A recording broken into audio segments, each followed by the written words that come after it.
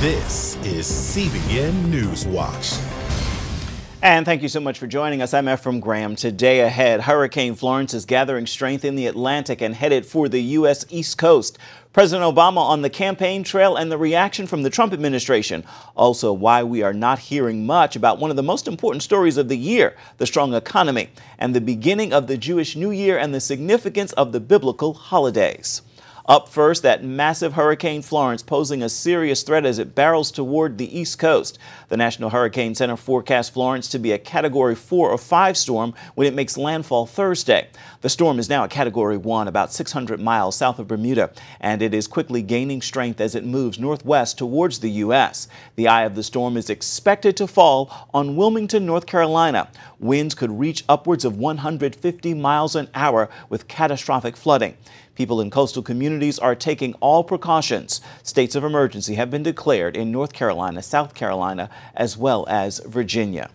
And joining us now with more on Florence, where it's headed, is Joe Bastardi. He is the chief forecaster for Weather Bell Analytics. So, Joe, where do you think Florence is most likely to make landfall as of right now?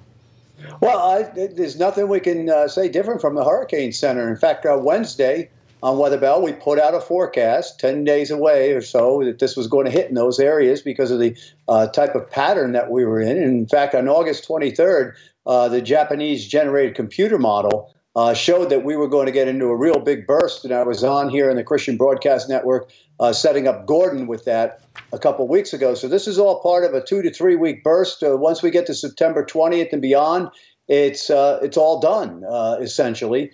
Uh, so uh, Florence to me is a done deal, uh, and by that I mean this, uh, folks. Uh, if you follow us on Weather Bell, I'm not trying to be pompous or egotistical. Ego means edge God out, by the way. So I'm not mm-hmm. trying to do that. I'm just, just trying to recap that this has been a long time coming, and so I have no changes.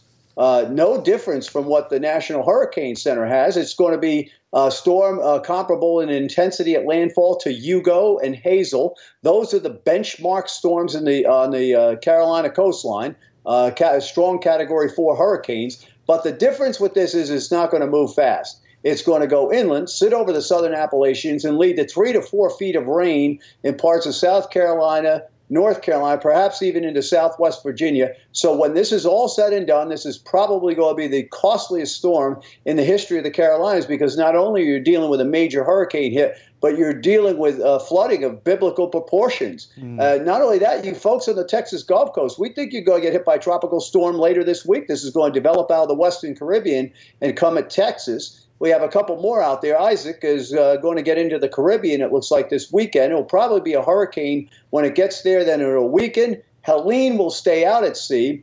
And uh, this whole end game with Florence, by the way, is that the storm stalls, dies, but tries to come back southeastward early next week into a large area of low pressure off the southeast coast of the United States, which in and of itself may be something to watch too. So we've got 10 days of wild weather in the tropics, and then as as fast as it came up, you're going to see it calm down. Yeah. All right. Well, Joe Bastardi, thank you so much. We will certainly be checking in with you as this gets closer. Much appreciated. Thank you. Thank you for having me.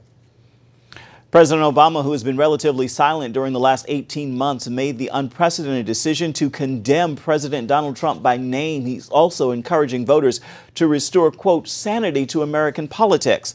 Vice President Mike Pence expressed his disdain with the former president's decision to speak out. It was very disappointing uh, to see President Obama break with the tradition of former presidents and become so political. The American people in 2016 uh, rejected the policy and direction of Barack Obama.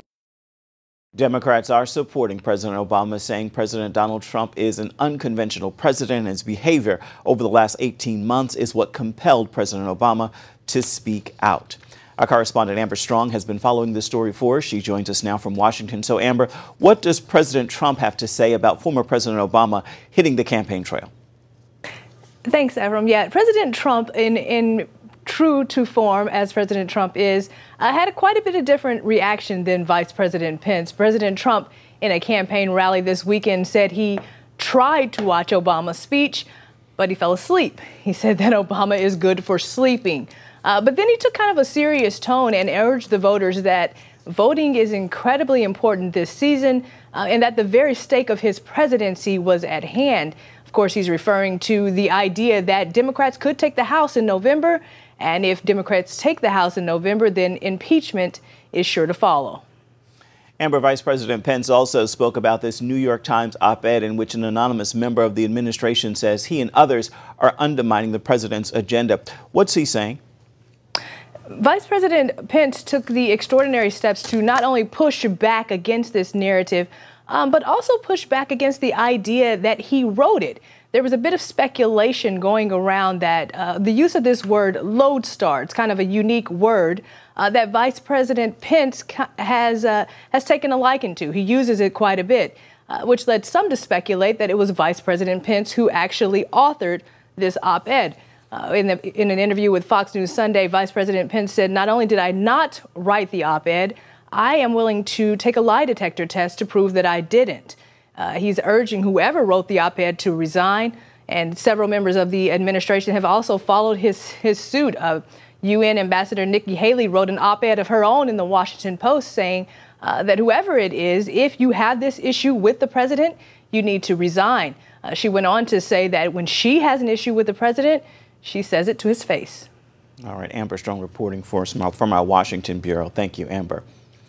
President Trump has taken some hits in recent days from a book depicting a chaotic White House to that op ed in the New York Times from an anonymous senior staffer. But one story you aren't hearing much about is the positive economy. The latest unemployment numbers show 200,000 new jobs were added just last month. That's a message the president's team wants to get out because they believe it could affect the upcoming midterm elections. Our Heather Sells brings us that story. If Republicans hold the House in November, the economy could be the reason why. It's why President Trump is trying to keep the subject front and center. We've created over 4 million new jobs since the election. It's not a terribly hard sell. Consumer confidence is soaring, recently hitting an 18 year high. Unemployment is at near record lows and business investment helped push the second quarter GDP beyond expectations. Still, the mainstream media doesn't talk about it, much less give any credit to the president or his tax cut. Media watcher Dan Gainor says it's no surprise. When we find out the economy is growing not even at 4.1%, but 4.2% uh, for GDP, oh, there, there's barely any coverage at all. We, you get all time record low unemployment for African Americans, barely any coverage. Harkening back to Bill Clinton's famous quote, It's the economy, stupid. Conservatives like Ralph Reed believe most people are focused on what's happening in the country, not inside the Beltway. I don't believe that the voters care about what the media cares about. That was amply demonstrated in 2016. I think for the average American, that is not ideologically motivated. They're not they're not really uh, hard right or, or or hard left. They're interested in kitchen table issues. That's why many inside the GOP want to emphasize accomplishments such as new approaches to North Korea and Iran, plus more conservative federal court judges and a likely Supreme Court justice. I would ignore the article, I would ignore the book, and I would tell the American people what I've done and what I'm going to do. You've got an incredible story for less than two years of being president. Many believe with a strong positive message like that, the GOP will lose seats but keep the House. Heather Sells, CBN News. Here now is a quick look at some of the other major headlines we're following for you today inside the CBN newsroom. North Korea staged a huge military parade to mark its 70th anniversary as a nation, but held back its most advanced missiles. Instead of, a, instead of a focus on the country's advanced military hardware, nearly half of the celebration was devoted to civilian efforts to build the domestic economy. President Trump tweeted his satisfaction following the parade, saying, This is a big and very positive statement from North Korea. Thank you, Chairman Kim. We will both prove everyone wrong. A Dallas church is mourning their 26 year old youth pastor who was shot and killed by a police officer in his own home. Investigators say Officer Amber Guyger was returning home from her shift Thursday when she entered the wrong apartment and opened fire at what she thought was an intruder. Officer Guyger had actually entered Jean's apartment, shooting and killing him. Guyger was arrested on manslaughter charges. The shooting is still being investigated. The NFL is no longer expected to implement its new policy on the national anthem this season. The NFL passed the policy in May requiring all players to stand for the anthem or be punished. The policy was put on hold amid disagreements between the league and the players union. ESPN reports an NFL official said they cannot come to a compromise. Now, for more on these stories and others throughout the day, you can always visit cbnnews.com. The Trump administration closed the Washington, D.C. offices of the Palestinian Liberation Organization on Sunday. The move is the latest in a series of decisions putting more pressure on the Palestinians to come to the negotiating table. CBN's Middle East Bureau Chief Chris Mitchell joins us now from Jerusalem to discuss this issue. So, Chris, why do you think the Trump administration has closed the PLO's office in Washington? Is there a strategy behind this?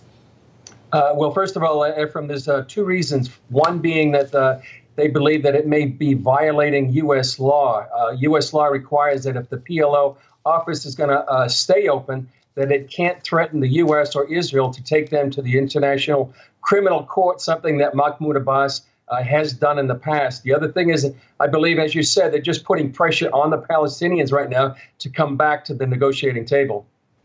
Chris, what other moves there in Jerusalem has the Trump administration taken to put pressure on the Palestinians?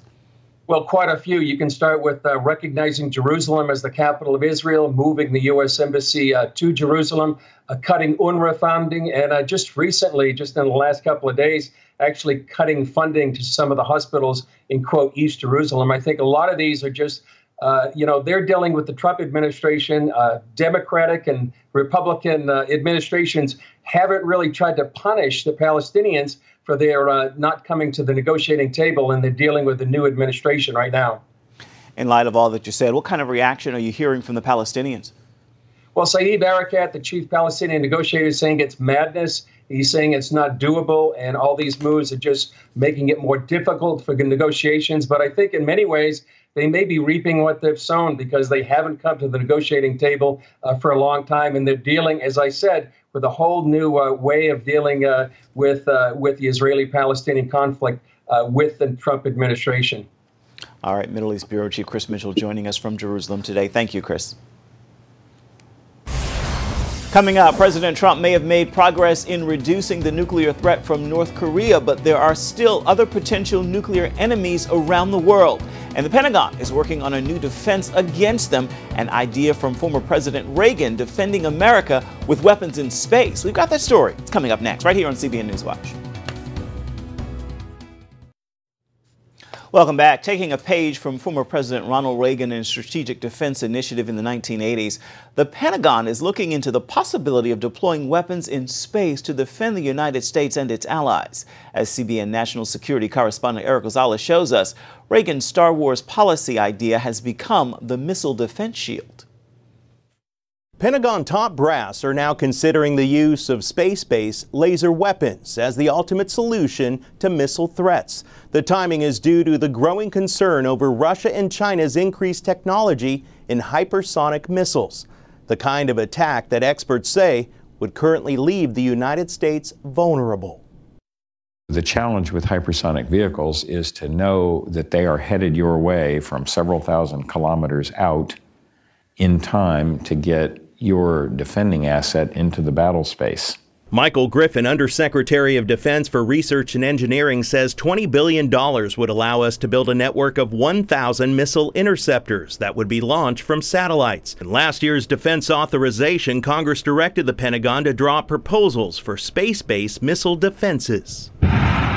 Griffin says China has conducted dozens of tests of a new hypersonic missile designed to strike the United States. He adds Russia is also developing this kind of technology. Current ground and sea based defense sensors are not designed to detect these missiles that can travel at speeds over 7,000 miles per hour. Unlike current ballistic missiles, hypersonic weapons fly into space and return to Earth's atmosphere in unpredictable trajectories. Only space based sensors can spot these threats early enough to shoot them down. You can't see it, you can't shoot it. If you don't know where it is, I don't really care how many interceptors you've got, they're totally ineffective.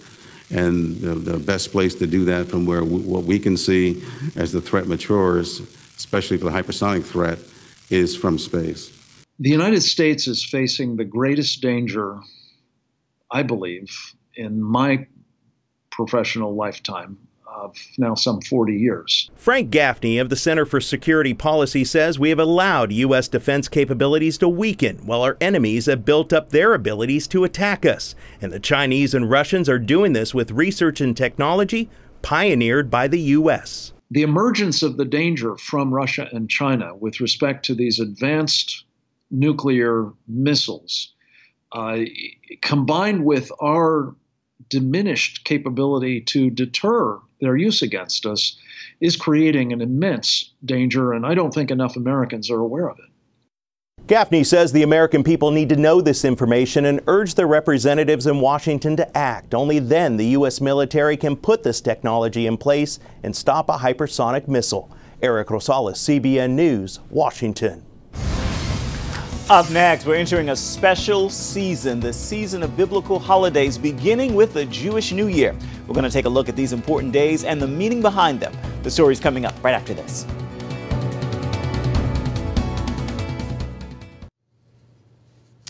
We are entering a special season of biblical holidays. These traditional Jewish holidays begin with Rosh Hashanah, the traditional New Year, and they include Yom Kippur, the Day of Atonement. But there's more to this season, and the Bible points the way.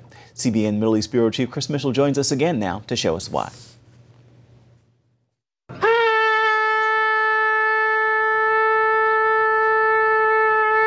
Rosh Hashanah literally means head of the year, the new year.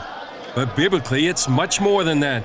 In the book of Leviticus, it's called Yom Teruah, the day of the blowing of trumpets or ram's horn, the judgment day. The only commandment during Rosh Hashanah is actually to hear the sound of the shofar. And so everybody gathering in the synagogue to hear the sound of the shofar. It's something that people connect to their soul to hear the sound of the shofar. The piercing sound of the shofar is meant to remind the hearers to repent of their sins and to make things right with their brothers and sisters. The rabbis say that reconciliation with God and man confounds the enemy. A shofar is a musical instrument made from a horn. This is the oldest uh, musical instrument. And the Jewish Orthodox we have a committee to hear the sound of the shofar during a New Year, the, our uh, ju Judgment Day. As part of a two family business, Eli Ribak is a third generation shofar maker. The process is uh, poly grinding, polishing, then we drill, uh, open mouthpiece. This is uh, quick, but it's a lot of experience and a lot of hand uh, work because each horn is a different size, different thickness, so you have to be experienced to make a good shofar. The ram's horn is used as the traditional shofar because when Abraham showed his willingness to sacrifice his son Isaac, God provided a ram to be used in his place. Actually, all type of horns are kosher except of a cow. That's because the Jewish people don't want to remind God of the time Israel worshiped the golden calf in the wilderness. Besides the distinctive tones of the different horns, there are three different blasts sounded. The shofar is blown in synagogues and at the Western Wall each morning for a month before the holiday to give plenty of time for repentance. You and I both know that uh, we need a lot of reminders in our daily life to repent, to think of the things of God. It's like an alarm clock for the soul. Ribak says it's not just Jewish people who blow the shofar. We sell the shofar all over the world. We sell it to Jewish, to Christian, uh, Messianic people, evangelist people. Rosh Hashanah is the feast of the seventh month, but in Jewish tradition, represents the new year. At the coronation of the kings of Israel, the shofars would blow.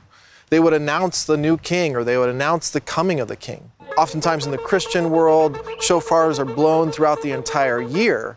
But in Judaism and in Jewish practice, those shofars are only blown for a very limited time throughout the year, during this time, the month of Elul and Rosh Hashanah. Boaz Michael, founder of First Fruits of Zion, says that's a foreshadow for those who believe in Yeshua, Jesus. And they tell us something. They're speaking to us. They're reminding us of something. And one of the things they're reminding us of is the creation of the world, the coming of the King, King Messiah one day at this time, uh, the coronation of his kingdom here on earth.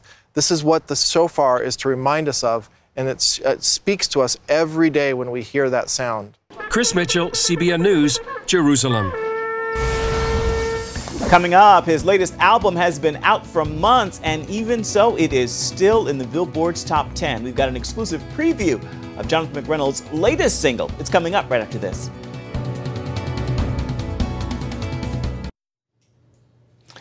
Recording artist Jonathan McReynolds' Make Room album continues to ride the Billboard's top 10 months after its release.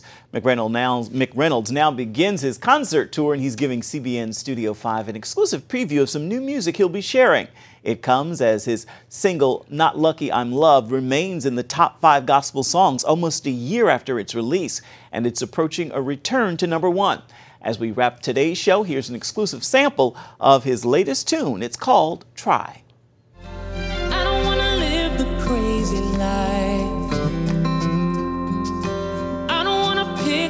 Crazy wife. I don't wanna be that crazy guy who lost what I had inside. Mm. I don't want the sinner's destiny. I don't wanna miss what's best for me.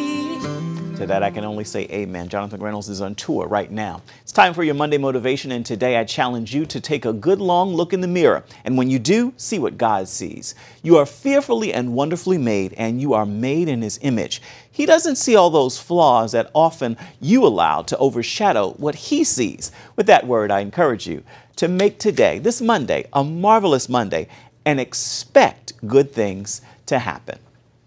That is going to do for this half hour of CBN News Watch. Remember, you can find more of our exclusive coverage of the issues you care most about at CBNNews.com. We'd love to hear what you think about the stories you've seen here today. You can do that by emailing newswatch at CBN.com. And of course, you can always reach out and touch us on Twitter, Instagram, as well as Facebook. Remember, the news continues 24 7 at CBNNews.com. We're updating that throughout the day for you. Hope you'll join us again right here next time. Make this a marvelous Monday. Goodbye and God bless.